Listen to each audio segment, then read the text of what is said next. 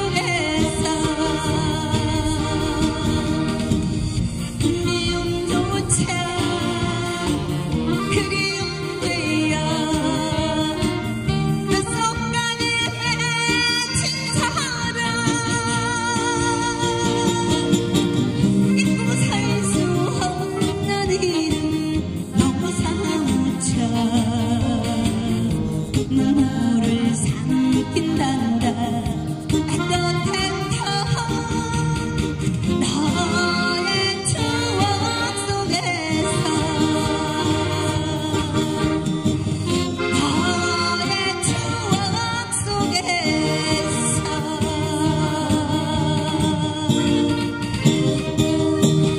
와와와와 자 박수 한번 주세요. 네 우리 이만월 가수 정말 라이브 참 소질이 참 박식하네. 정말 잘하네. 네. 자, 라이브가 참 어려운 겁니다. 예, 참 우리가 보통 무대에 서면 아, 반죽이 보통 흘러나오는 것이 하는데 지금은 어, 우리 멤버가 30년 40년 아주 그 오버리를 잘하시는 분들이에요. 또 밤에 또 야간 업소에 또 나가서 다 일하시는 분들이라서 거기 맞춰서 노래를 하시는 이만월 가수 실력이 대단합니다. 예, 고맙고요. 아, 다음은 예, 비익조 준비해 주세요. 비익조라는 것은 한번 더 들어볼 겁니다. 비익조. 원기 그대로 주시면 됩니다. 그리고 오늘 저희가 아, 큰종이 서울에 경인 지역에 오니까 우리 가수들이 긴급 수배를 했는데 돼가지고 어, 저희들이 이렇게 오늘 몇 분만 모셨고요. 많이 모시면 또 저희들이 시간이 또 안 되니까 그래서 어, 오늘 가수 우선 두 분만 여러분들에게 보이겠습니다. 다음은 빅저 다시 한번 원키 우리 가수 임하늘에게 다시 한번 정해볼게요.